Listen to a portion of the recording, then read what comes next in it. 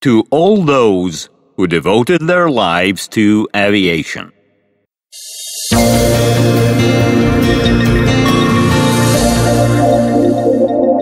The Wings of Russia studio presents.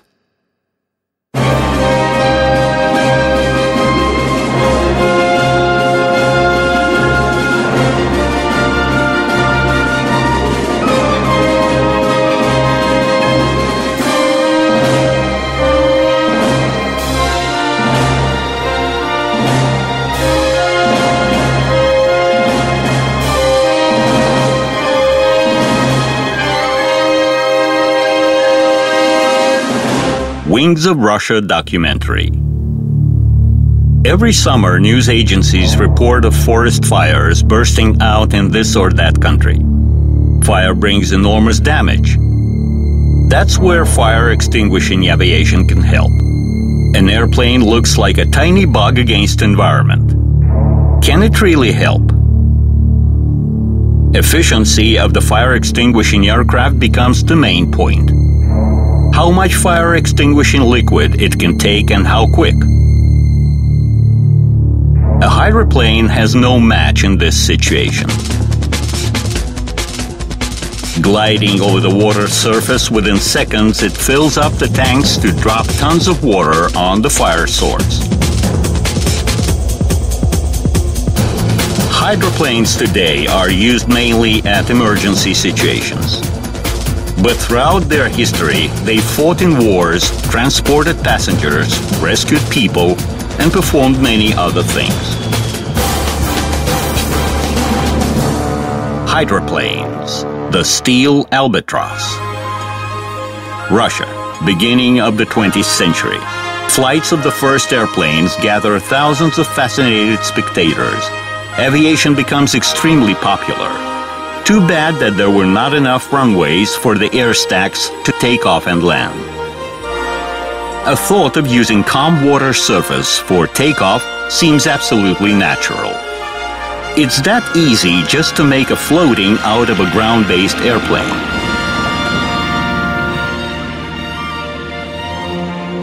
First probes were not much intricate. Instead of a wheeled landing gear, there were floats. But it wasn't that easy. For an airplane of this kind, the most important thing is its seaworthiness, the ability to be stable on water.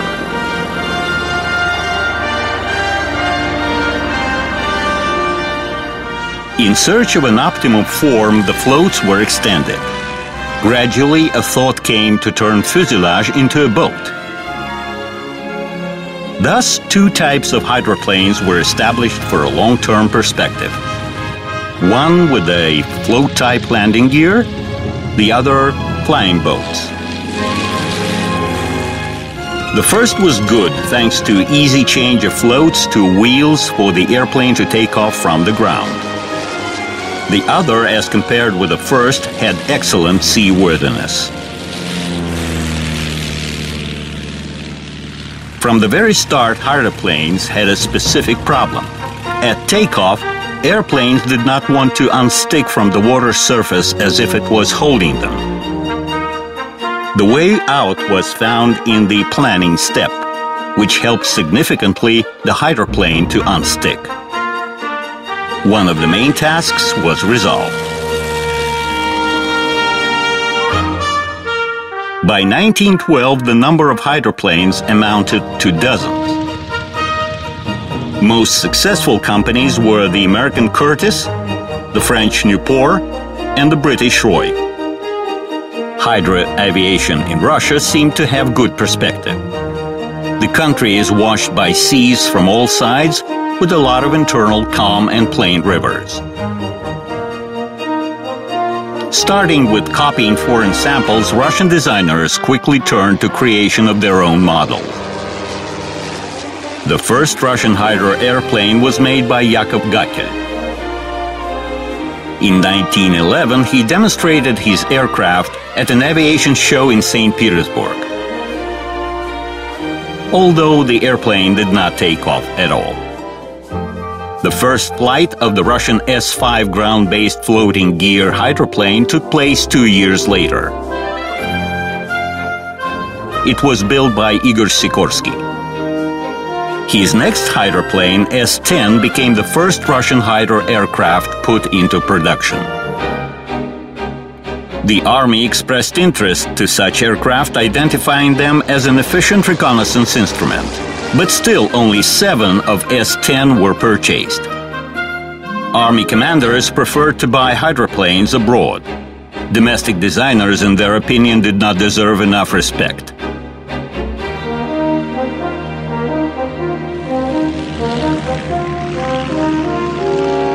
The situation changed by 1915. Russia became the leader in hydroplane development among other countries. This happened thanks to efforts of the Russian aircraft designer Dmitry Grigorovich. He gained experience working on the flying boats, and in spring 1915, M5, the first successful sample of his own, appeared. The Navy purchased around 300 machines.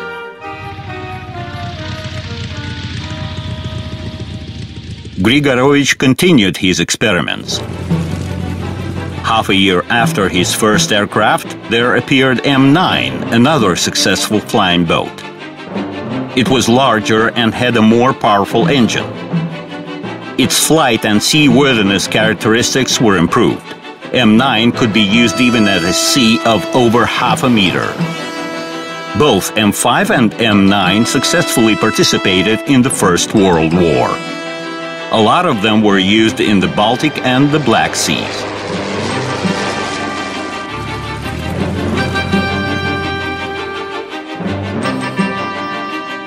high demand for his production turned Grigorovich into an aircraft producing factory owner. Other designers offered their hydroplanes to the Russian Navy as well. Even a special station for testing the aircraft entering military service was established.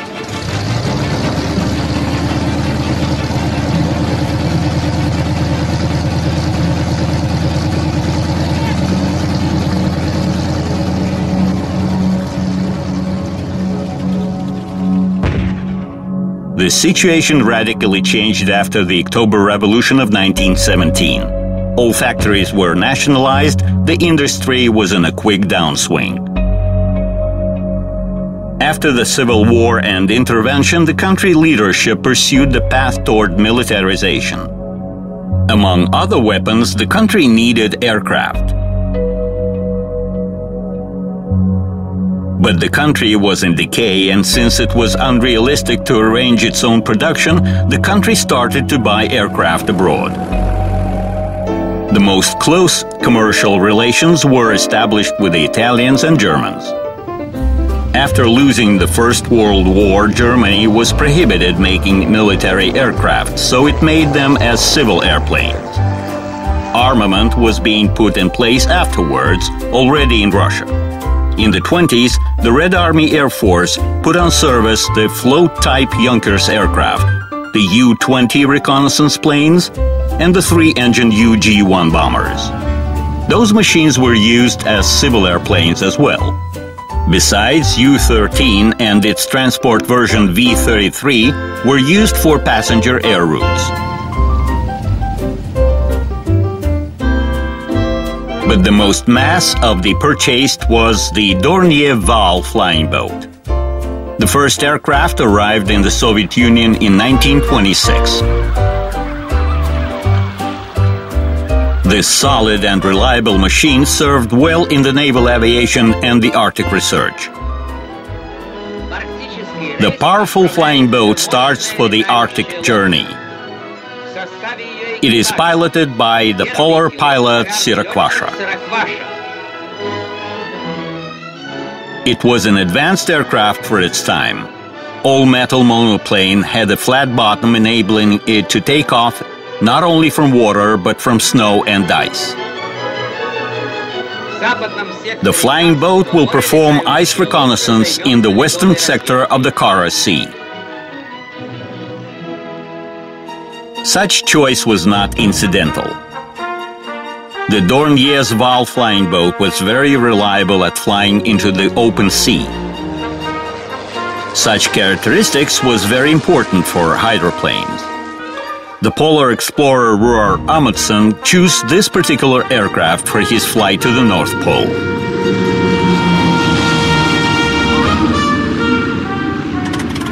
Italian hydroplanes found their application in the USSR in various spheres as well. The three-seat Savoia S-16 flying boat was used as a reconnaissance aircraft. A whole crowd used to take it to water with the help of a wheeled cart, the so-called rollover chassis. The aircraft was taken to seaplane ramp, put on water, the chassis was detached, and the boat took off.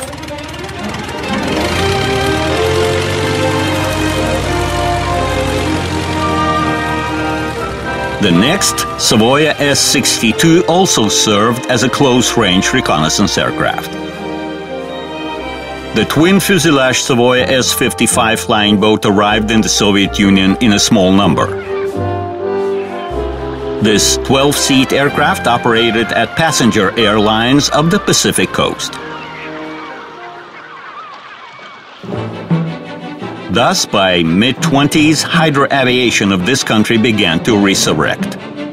This process was not entirely based on purchasing foreign aircraft. Attempts were made to design local machines. The first successful ground-based airplane was put on floats. It was MR-1 designed by Nikolai Polikarpov. It was put on service as a marine reconnaissance aircraft. A special MU-1 machine was made to train how to fly hydroplanes. It was also a ground-based airplane. Airplanes could base on ships as well. In this case, they were put on water by cranes.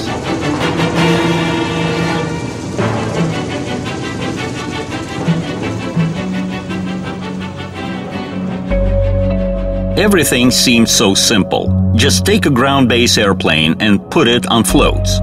However, there were no locally made floats, and their construction turned out to be extremely difficult. First, the floats were coming from abroad.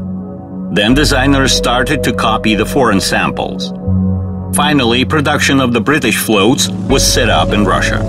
They were put on TB-1 and R-6 airplanes designed by Andrei Tupolev. Unit commander Comrade Kuznetsov, recently awarded with the Order of Lenin, distributed the current reconnaissance task.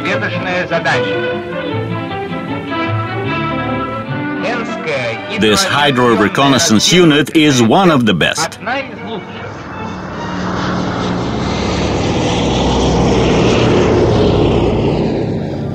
In 1923, Dmitry Grigorovich was back designing the flying boats. Just a while ago, in the First World War, his airplanes were the pride of the Russian sea-based aviation. Now he was back in business. Grigorovich tried to bring his prior layouts to life. This time, roughly manufactured, they were a parody to the successful pre-revolution M5 and M9 machines. Later on, he designed several more hydroplanes but he could not reach his prior success. In 1928, the Soviet government, having no reliance on the local engineers, invited those from France, headed by Paul Richard. Most of the French could not work under the offered conditions and soon left the USSR without producing a single machine. In 1931, Paul Richard also left the country. We remember him only because he headed a group in which many future Soviet designers made their first steps in aviation. Nikolai Kamov, Mikhail Gurevich, Georgy Beriev, Igor Chetverikov, Semyon Lavochkin, Nikolai Skrzhinsky, Vadim Shavrov, Sergei Korolev. Later, some of them took great interest in hydroplanes. In the 30s, there were already numerous hydroplane projects, but only several of them were successful. Among them was the MBR-2 close-range reconnaissance aircraft designed by Georgy Beriev. Comprehensive research work was performed in the creation of the new aircraft. By that time, this work was completely based upon the Central Air Hydrodynamic Institute. The aircraft testing was conducted in wind tunnels, while the boat fuselage was tested in a water channel. It was the first significant step in the development of the Soviet Hydra airplanes. The aircraft first took off in April 1932. Its speed and range were not at all outstanding, but it was a good machine for its time. Most important was the use of wood, which was in abundance, enabling to develop mass production. Besides reconnaissance, this aircraft could perform bombing of the targets detected at sea. A lot of aircraft identified as MP-1 went to service in civil aviation. The Irkutsk Hydra Airport is the main base for the air connection with Yakutia. From there, comfortable passenger MP-1 airplanes daily start their long journey. Passengers of all ages are on board. Aviation has long become an ordinary means of transport for this country.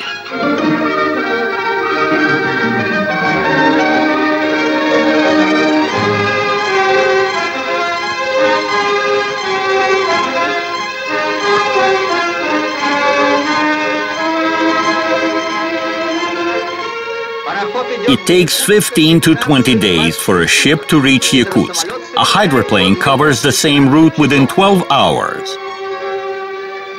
Here is Yakutsk. The flight is over.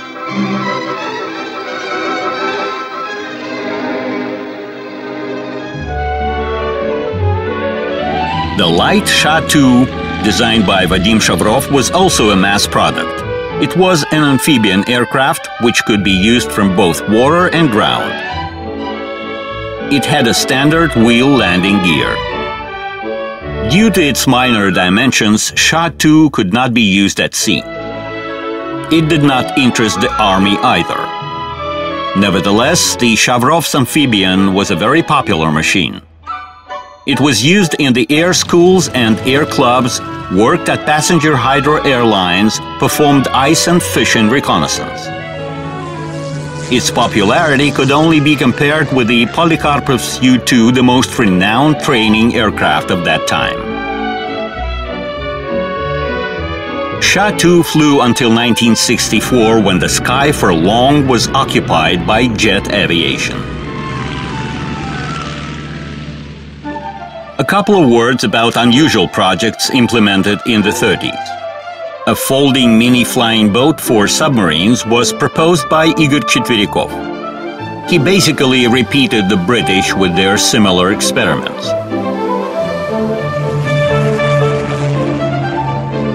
Chetverikov's aircraft was called SPL. It was too fragile to be used at sea. There was also an exotic project, a suspended torpedo-carrying sea glider PSN. It was supposed to be dropped from a heavy bomber, approach the target, torpedo it, and then land on water. But this idea did not come true.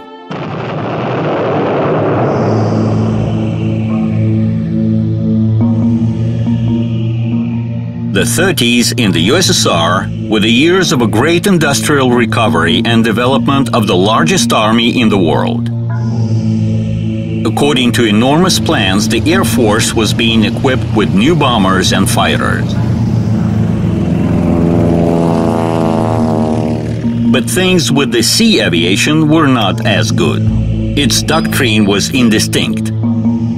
Therefore, there were no orders for the new machines. All this made a negative impact on the prospective sea aircraft development. Several design bureaus were involved in this work, but the military command was not satisfied with the result. Even Andrei Tupolev, by that time a respectable designer, did not succeed in developing flying boats.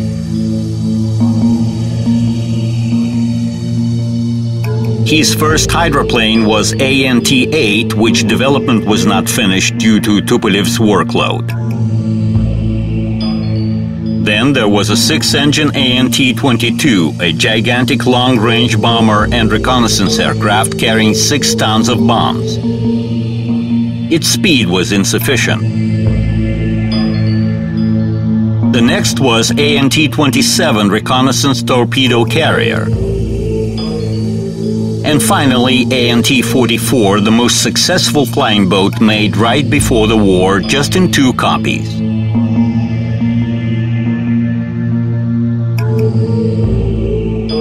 Not long before the war, there appeared minor reconnaissance aircraft meant to be ship-based. They were developed by the Beriev Design Bureau.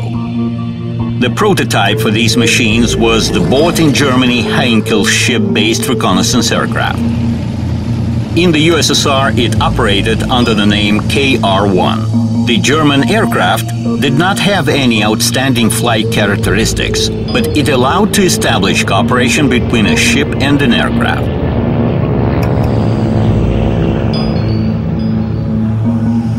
In 1935, the Beriev Design Bureau made a number of catapulting KOR-1 ship-based reconnaissance aircraft.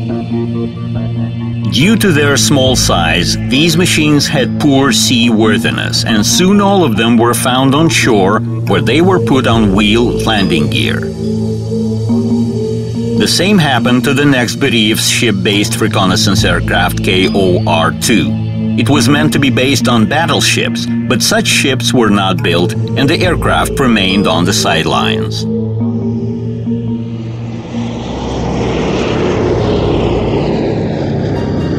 By mid-30s, the speed factor became decisive in the world aircraft development. Machines with bulky floats started gradually to quit the scene. The future was seen with the flying boats, which were more advanced from the point of view of aerodynamics. Designers did not succeed in making a flying boat of their own of a relevant quality and in the required quantity so the country's leadership took the usual path by purchasing such machines abroad. This time American aircraft were preferred.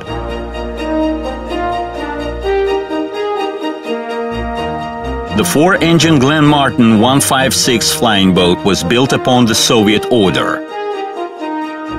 Initially it was meant for the military use, but the speed was insufficient and the Giant was passed over to the civil aviation. The other passenger flying boat even got into a popular Soviet pre-war comedy film Volga Volga. It was Igor Sikorsky's S-43. There was also Douglas DF. Passengers were accommodated in four compartments. Soft armchairs could be transformed into couches. Airplanes were attached to the Polar Aviation. All these machines were bought in single copies, while the most mass in America was a flying boat of the Consolidated Company. It was being produced in the USSR since 1938 under the definition GST transport hydroplane, but it was equipped with Soviet engines. The USSR N-275 flying boat is delivered to the Khimki Reservoir. This flying boat was part of the Polar Aviation while the Khimki Reservoir in the north of Moscow in those years was its base.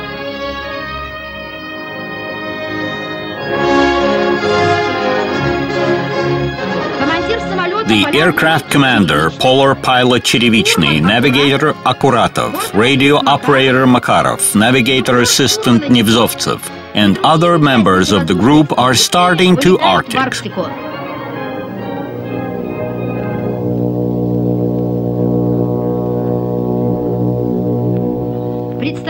They will perform ice reconnaissance in the Laptev Sea and the Eastern Siberian Sea. By the 40s, the Soviet hydro aviation consisted of dozens of different types of flying boats of the Soviet and foreign design.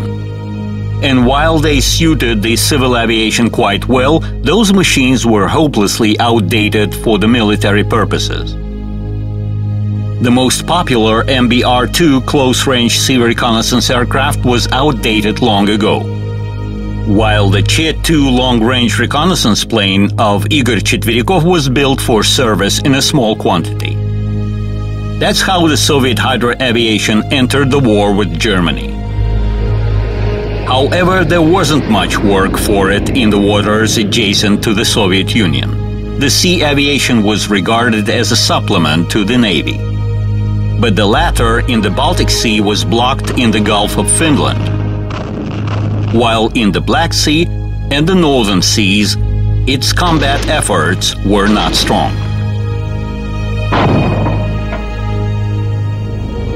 The flying boats mostly performed reconnaissance tasks, search and rescue of the shut-down crews.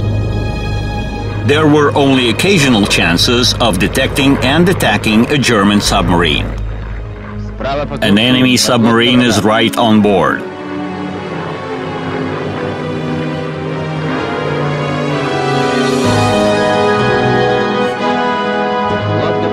It attempts to submerge. Too late. The anti-submarine bombs are off.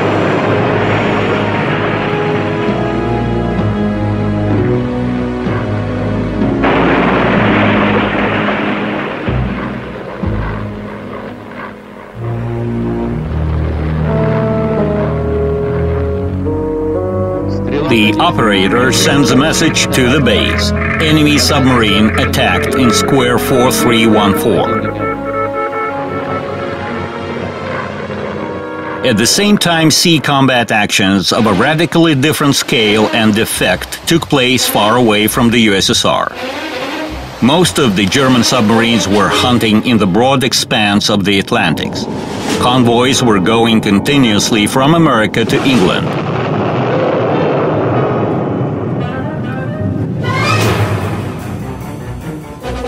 In turn, the German submarines were hunted by hundreds of British and American anti-submarine aircraft.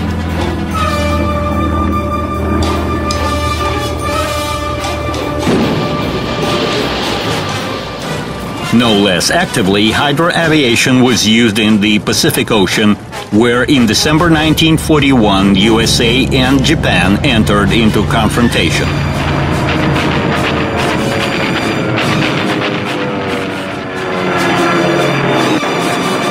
The combat specifics was such that the sea aviation played the decisive role.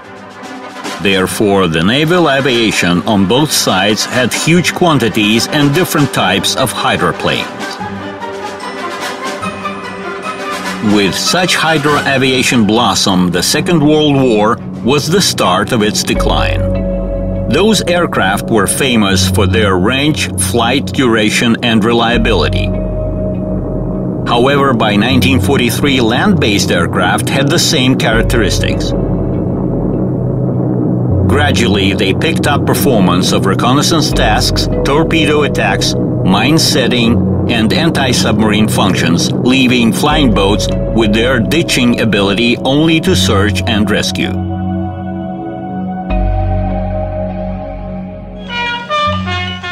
In 1943, the USSR obtained a chance to enforce its naval aviation. Allies started to provide help. Among other things, coming through the Lend-Lease program, there came flying boats. Those were new modifications of the same American flying boats which were built in the USSR before the war. The aircraft was called Catalina. It had several versions, including amphibians. It was the right choice. Catalina was really one of the best flying boats of the Second World War and had the largest circulation in its class, 3,300 copies.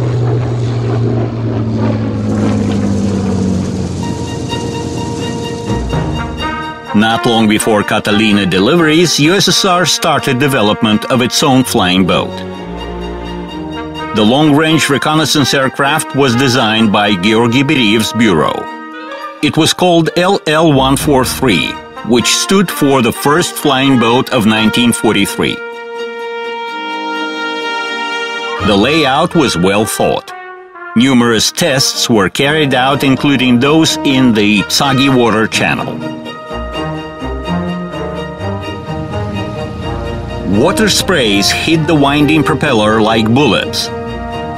In order to protect it, the engines were put on a high wing, which was kicked in a so-called seagull mode, and the engines were put right in the kink. Thus, the engines were at maximum remoteness from the water. Viability was assured by the fuselage separation into sections with waterproof partitions, just like the vessels had. For defense, the aircraft had several firing points.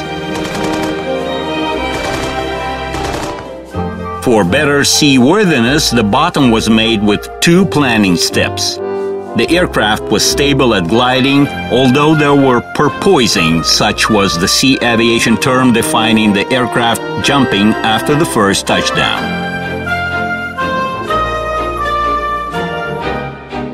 LL-143 performed its first flight in March 1945.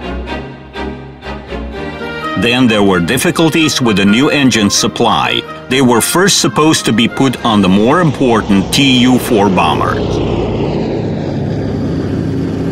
The flying boat was commissioned only in 1951 under the name of BE-6. As compared to the wartime flying boats, BE-6 was way more capable. Payload 4 tons, range 5,000 kilometers, 20 hours of non-stop flight. Its main tasks were reconnaissance and anti-submarine duties. Downwards, you see anti-submarine locator beacons. Each BE-6 can set up to 16 such beacons in one flight. One aircraft can make a 32-mile-long beacon barrier. Combined search of submarines by ships and aircraft with the use of locator beacons proved its high efficiency. Besides, BE-6 can perform 24-hour rescue operations at sea. The aircraft was not at all simple in operation. Before the flight, mechanics had to detach the rollover chassis. It was all right for the south, but BE-6 was serving in the north as well. After the flight, all operations had to be performed in reverse order.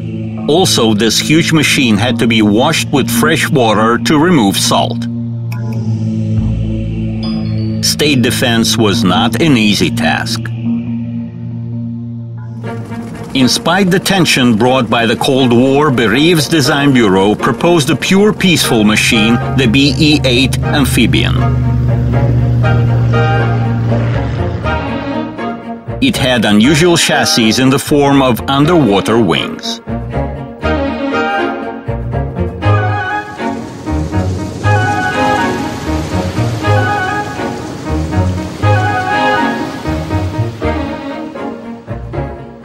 Speaking of experiments, we should mention the Hercules flying boat built by Howard Hughes, an American millionaire. This 200-ton giant had eight engines and almost 100-meter wingspan. But it made only one flight at a range of less than one kilometer.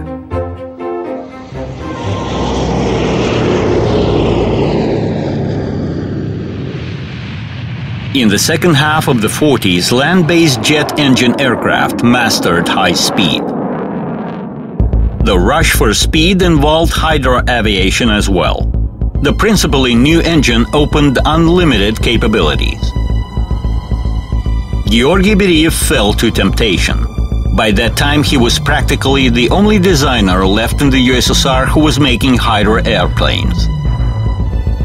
After the war, his design bureau was based in Taganrog, where a jet engine R-1 reconnaissance flying boat was made in 1948. High flying speed resulted in high speed at takeoff and landing. The aircraft water touchdown turned into a crazy race with the out-of-limit G-loads. This was bad for both the layout and the crew.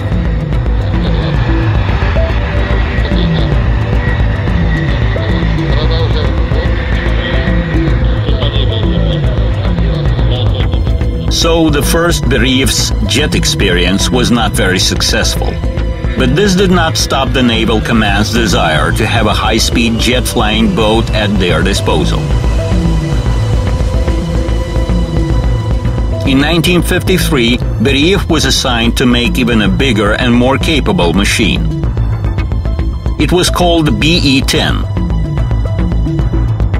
Its size was significant. The bigger the flying boat was, the more stable on water it would be. The flight and combat characteristics increase was dictated by the new conditions where the enemy did not stay still. The BE-10 layout was different from that of R-1. A swept wing, engines placed close to fuselage. This gave certain aerodynamic advantages, but it led to higher vibration. At one of the tests, this resulted in destruction of the prototype's tail. BE-10 jet flying boats went into production and in 1959 they entered military service.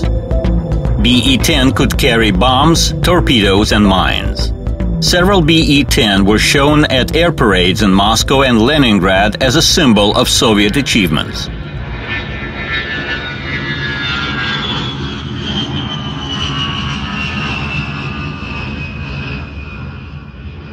Soon there came a new important task record setting. The hydroplane was now identified as M10.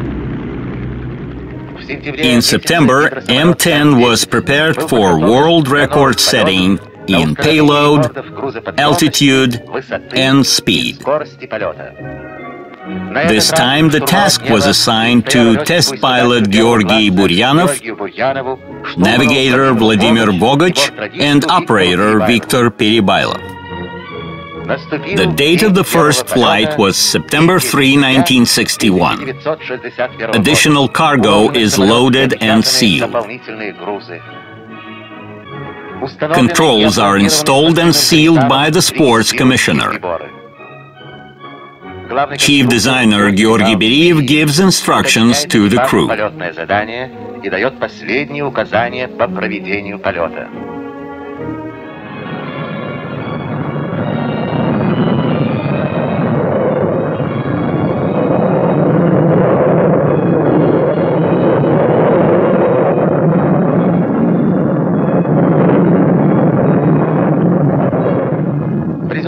In result of a set of flights, the M10 Hydra airplane set 12 world records.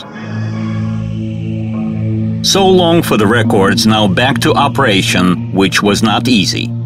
Takeoff and landing at high wave led to high G loads. The hand wheel was shaking, controls were hardly visible. Flights were often suspended. There were accidents and catastrophes. The price for high speed was very high. Four years after the start, BE-10 flights were terminated.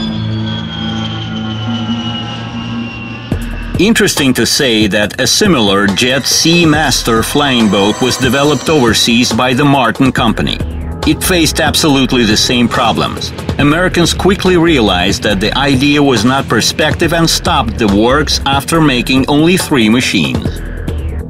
While BE-10 was being slowly brought to combat conditions, the military command was planning to create an ocean aviation.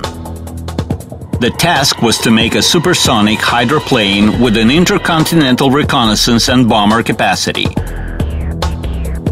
In the event of ground aerodrome's destruction, such flying boats would be able to provide for the retaliation. The assignment was given to the most respectable designers Tupolev, Myasishchev, and Beriev. But the task was so far from reality that the works never started. The United States also tried to make a supersonic flying boat. It was called the Sea Dart and had a small size. But the technical complexity of the task was so big that the project ended up at a test stage.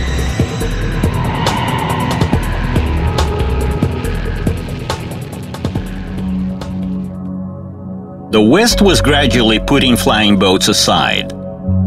First, because of their high operational costs. Secondly, because their combat tasks could well be performed by other means.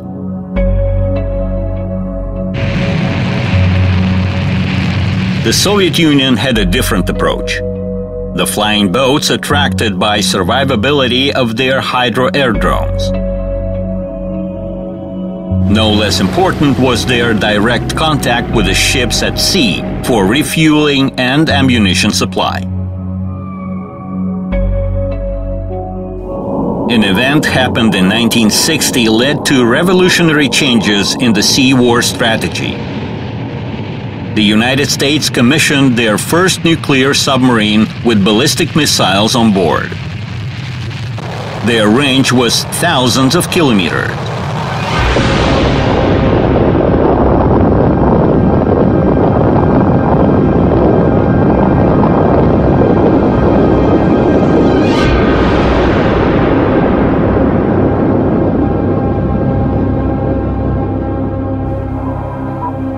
Search and interception of such a submarine became practically useless. But still, something was supposed to be done. Tactical and strategic plans were reconsidered. Development of the relevant means and aircraft in particular was planned.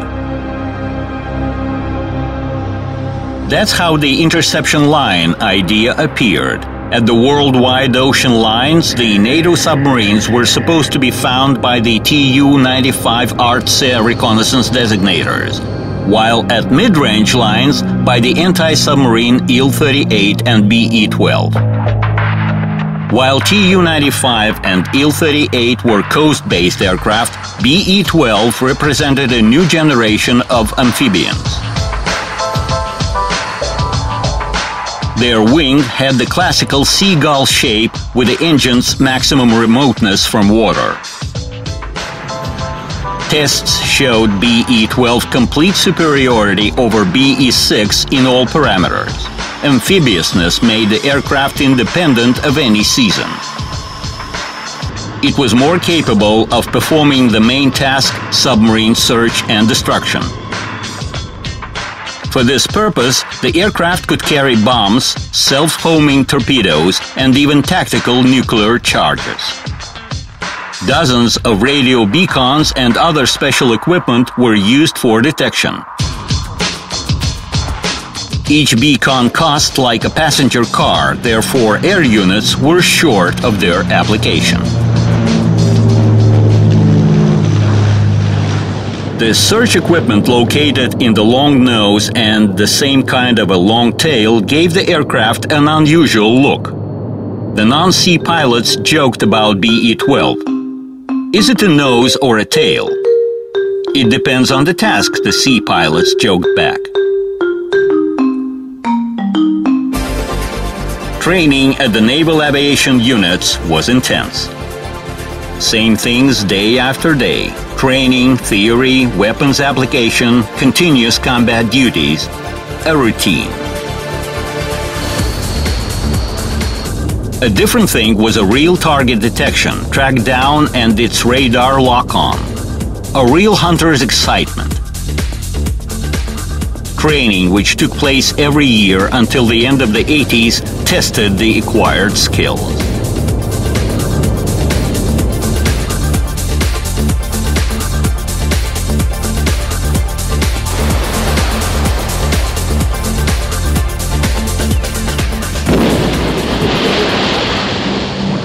BE-14, a special BE-12 based modification was built for search and rescue operations. It differed from the base aircraft by more wider hatches to take in the victims. But it remained a single copy.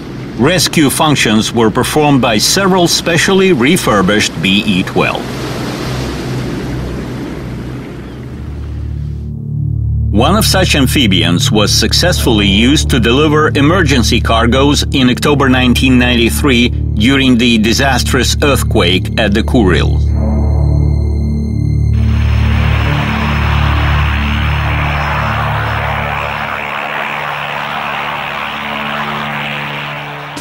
A fire extinguishing modification of BE-12 appeared in 1991.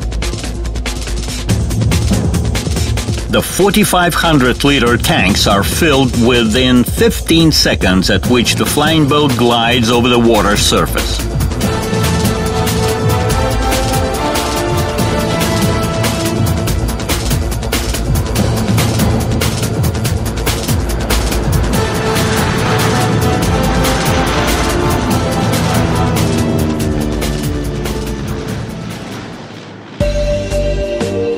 In 1983, the Beriev Design Bureau obtained a new task.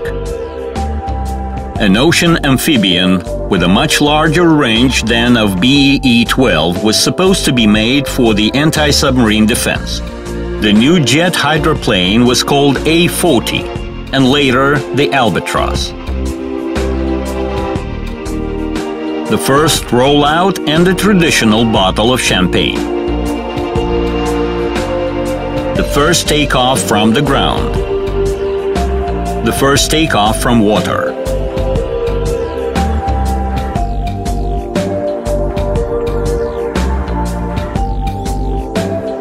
The A40 dimensions allowed it to be used in the oceans at waves of up to 2 meters.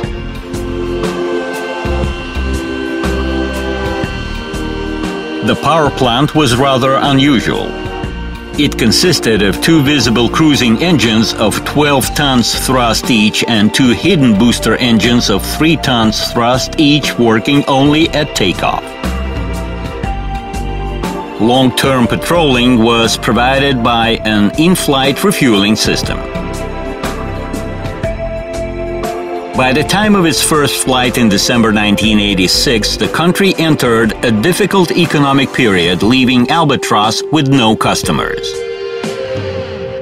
It did not perform any combat task, but surprised the world continuously by setting 138 world records in altitude, speed, and payload.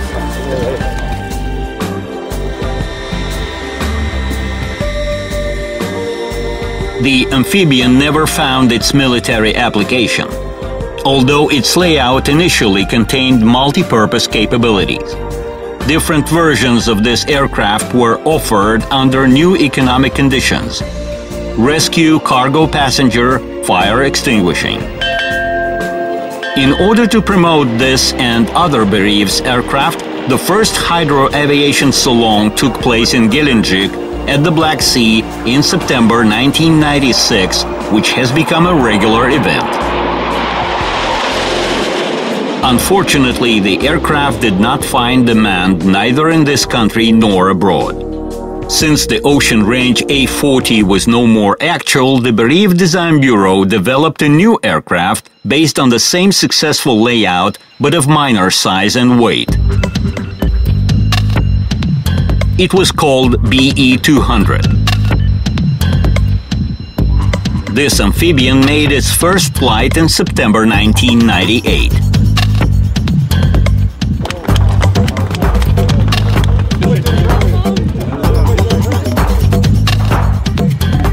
It has a cargo and passenger variant with the possibility to perform rescue operations.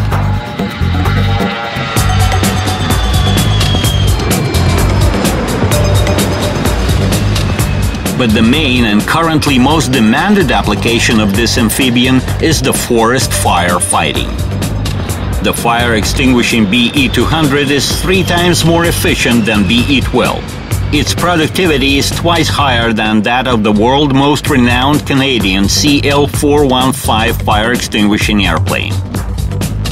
No doubt that BE-200 was assigned to serve for the emergency ministry and it already took part in real operations.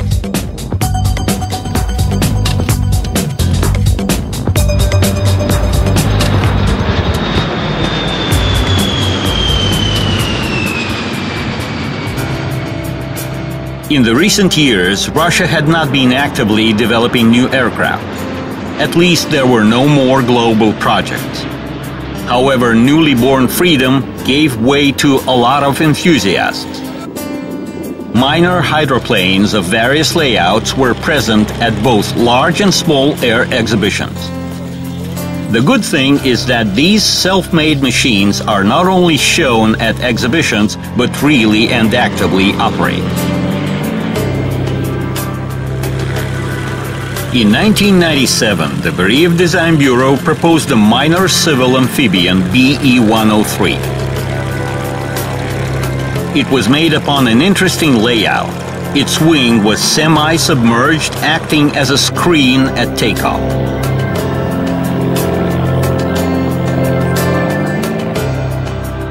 Demand for hydro aviation makes no doubt.